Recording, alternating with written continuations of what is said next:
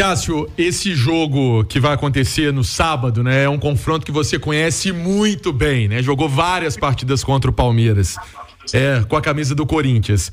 É, o que, que você pensa é, desse desafio, né, desse jogo fora de casa?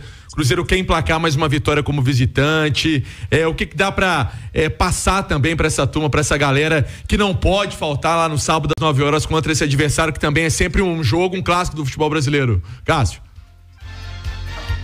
Acho que nós temos que continuar na mesma regularidade, é, continuar na estratégia que o Seabra vai, vai montar para a gente para esse jogo. É um jogo difícil, o Palmeiras é uma equipe muito forte, é, assim como nós, que perdeu muito pouco ponto em casa, mas nós, nós temos uma equipe competitiva e temos totais condições de ir lá e buscar um resultado positivo. É, a gente trabalhou bem essa semana, é, conversou o professor conversou bastante com nós e a gente está muito confiante, né? Até pelos resultados que a gente vem tendo, mas sabe que é um jogo difícil, mas é, ir lá e fazer uma grande partida e, e trazer um resultado positivo. Ô João, esse confronto entre Palmeiras e Cruzeiro, ele tem particularidades bem interessantes, tanto pelo lado do Cássio quanto do confronto de uma forma geral.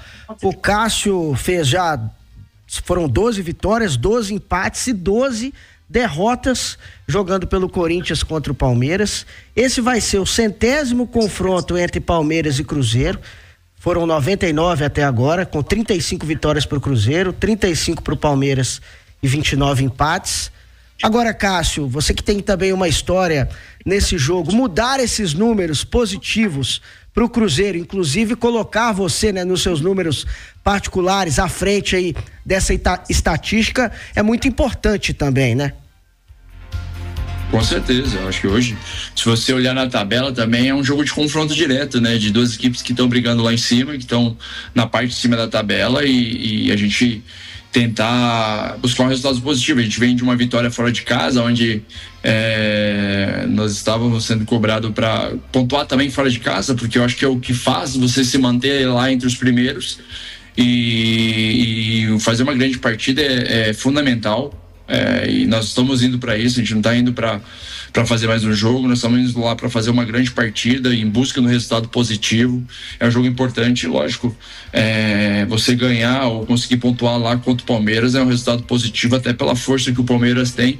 E você olhando já, pensando em campeonato, o Palmeiras é um time que perde poucos pontos é, na sua casa. E você ir lá e conseguir pontuar vai ser muito importante. A gente tem que estar bem preparado para em busca. Tenho certeza que na preparação da, da semana foi conversado sobre isso, de ir lá e fazer uma grande partida e pontuar.